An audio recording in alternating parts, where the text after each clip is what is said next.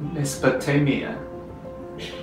Have you ever heard of this this area, Mesopotamia? Yes. From the song. Okay, where? yes, okay. And whereabouts is it? Do you know?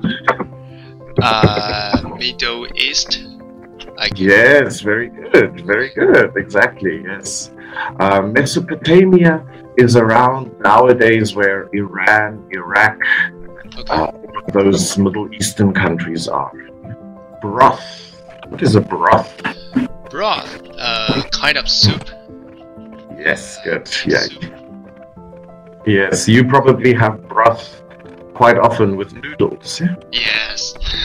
Yes. Yeah.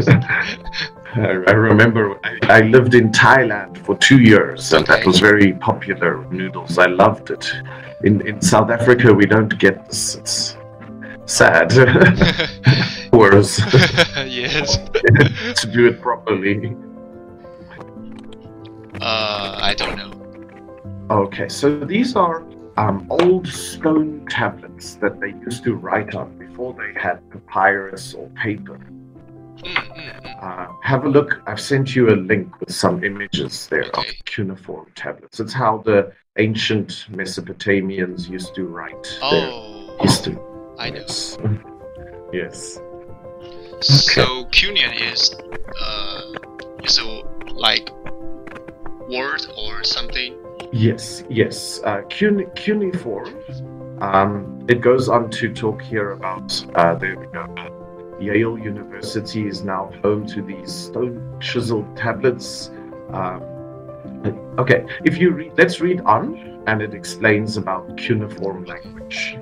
Yeah, so it's actually quite similar to Chinese. Well, uh, in in in structure, it's more similar to Chinese language than English or European languages. Okay. Okay, so read on. Yale University, please. Okay. Yale University is now home to the stone stone chisel. Chi- Chisel. Chisel, and where you use a hammer and a sharp object, oh, and you chisel. chiseled tablet dating back to 3700 to 2700 years ago. Okay. Okay, Sounds great.